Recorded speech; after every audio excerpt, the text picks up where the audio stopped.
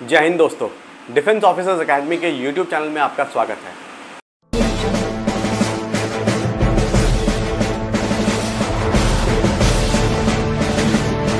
Exam आने वाला है। सर हम तैयारी किस तरीके से करें? ये एक सवाल है जो हर एक बच्चा या पेरेंट्स आजकल सोच रहे हैं कि हमें अपने बच्चों की तैयारी किस तरीके से करानी चाहिए, या वो स्टूडेंट्स जो किसी एग्ज़ाम की तैयारी कर रहे हैं उनको अपने जो आने वाला एग्ज़ाम है, उसकी तैयारी किस तरीके से करें? तो आज मैं आप लोगों को ऐसे पाँच पॉइंट्स बताऊँगा। अगर आप उन पाँच पॉइंट्स को फॉलो करते हैं तो आपको उस एग्ज़ाम को क्लियर करने में बड़ी आसानी होगी। वो पाँच स्टेप हैं। सबसे पहला, जो इसमें सवाल आता है, वो ये आता है कि बेस्ट टाइम जो है, वो पढ़ाई का कौन सा है? इस सवाल से भी बच्चे जूझते रहते हैं, सोचते रहते हैं कि हमें सुबह पढ़ना चाहिए, दिन में पढ़ना चाहिए, रात को पढ़ना चाहिए। तो अकॉर्डिंग टू मी मेरे अकॉर्डिंग जो बेस्ट टाइम होता है, वो सुबह पाँच बजे से सुबह आठ बजे का होता है। अगर हम भारत की बात करें तो जो सुबह पाँच बजे से सुबह आठ बजे का टाइम है, इसको ब्रह्म मुहूर्त कहते हैं। इस टाइम पे अगर आप पढ़ाई करते हो तो जो आपका कंसंट्रेशन लेवल होता है, वो बहुत हाई होता है।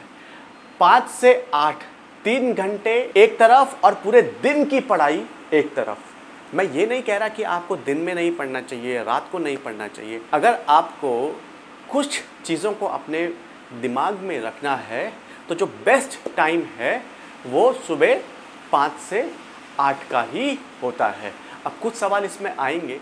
कि सर, लेकिन हमें तो रात को पढ़ना पसंद है, हमें तो दिन में पढ़ना पसंद है। तो आ सकते हैं सवाल और आप किसी भी टाइम पढ़ सकते हैं, लेकिन जो पैटर्न है, वो यही कहता है कि अगर आप सुबह पाँच बजे उठ के पढ़ने की आदत बनाएँगे तो आपको जो भी आप पढ़ेंगे, उसकी जो समझ होगी, वो आपको बहुत ही अच्छे से समझ में आएगा। दूसरी जो चीज़ है जो आपको करनी है, वो है स्टे फिट स्टे हेल्दी देखिए एग्ज़ाम आने वाला है। अगर मैं आर के एग्ज़ाम की बात करता हूँ तो चार महीने आपके पास है।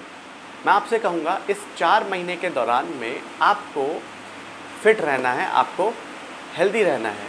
अब फिट और हेल्दी रहने के लिए आपको क्या करना पड़ेगा? सबसे पहले तो आने वाले चार महीनों के लिए आप जंक फ़ूड खाना छोड़ दीजिए। चाउमीन, मोमो, पिज़्ज़ा, बर्गर, ये सारी चीज़ें आप खाना खाना छोड़ दीजिए। अब बहुत सारा पानी पीजिए और मिनिमम 20 मिनट्स आप एक्सरसाइज करेंगे। जब आप एक्सरसाइज करते हैं तो आपकी जो बॉडी है, वो और ज़्यादा एक्टिव हो जाती है।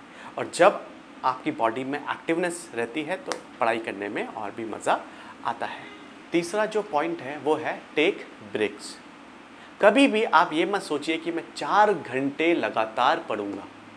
आपको 45 to one hour 45 to 60 minutes की आपको पढ़ाई करनी है। उसके बाद आपको 15-20 मिनट्स का ब्रेक लेना है।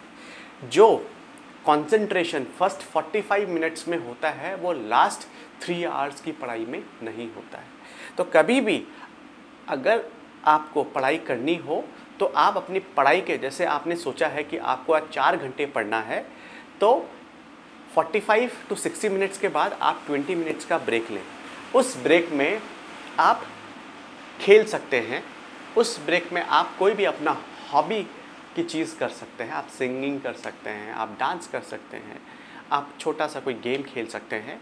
तो छोटे छोटे ब्रेक्स लेना बहुत ज़रूरी है, जिससे कि आपका जो कंसंट्रेशन है वो बना रहेगा। जो पांचवा पॉइंट है, वो है टेक इट इजी देखिए लाइफ जो है वो बहुत बड़ी है, और जो भी ये एग्ज़ाम्स हैं, ये हमारी लाइफ का एक हिस्सा है। ठीक है? तो कभी भी आप एग्ज़ाम में जब जाएँ, अगर आपकी तैयारी अच्छी है, आप एग्ज़ाम देने के लिए जाएँगे और अगर उस एग्ज़ाम्स में जो भी रिज़ल्ट आता है तो इसका मतलब ये नहीं है कि आपकी जो जर्नी है वो ख़त्म हो गई। ठीक है? बड़े कूल माइंड के साथ आपको एग्ज़ाम देने जाना है, बड़े मज़े के साथ आपको एग्ज़ाम जाना है और जब आप कूल माइंड होके मज़े से एग्ज़ाम देने जाएँगे तो सफलता आपको मिलेगी। तो ये पाँच पॉइंट्स थे जो मैंने आज आप लोगों को बताए। अगर आप इसको फॉलो करते हैं अभी से, क्योंकि अभी एग्ज़ाम में चार महीने का टाइम है। अगर आप इन पाँच पॉइंट्स को फॉलो करते हैं तो डेफिनेटली आपको अपने एग्ज़ाम में सफलता मिलेगी। धन्यवाद दोस्तों।